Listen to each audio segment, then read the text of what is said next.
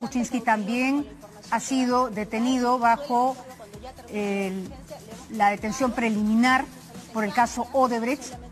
Se está evaluando la prisión preventiva.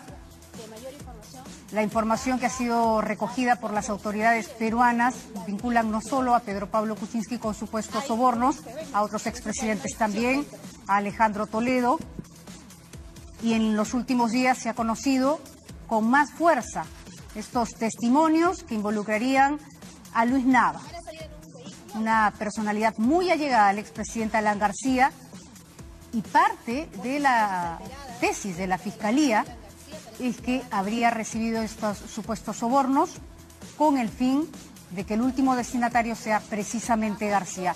Repetimos, es una información en desarrollo personal de la División de Investigación de Delitos de Alta Complejidad de la Policía Nacional del Perú. Se encuentra al interior ya de la casa del expresidente Alan García. Vamos a seguir escuchando el relato de Jessica Roca.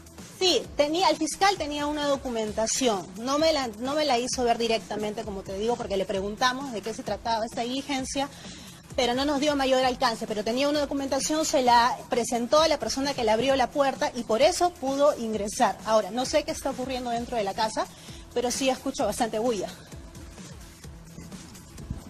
Ahí sale, sale justamente un vehículo. Perdón, voy a cruzar.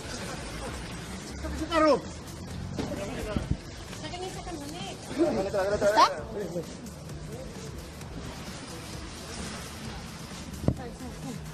No, en este están llevando. Adentro hay alguien. Se retira el vehículo, me parece además que es el, el vehículo del expresidente Alan García. Pero hay una, hay una persona. Queremos que salga el fiscal para que nos confirme también se ha quedado dentro de la vivienda.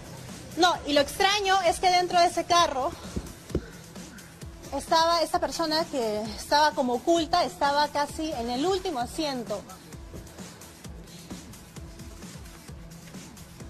Recordemos que en las últimas horas nada más Alan García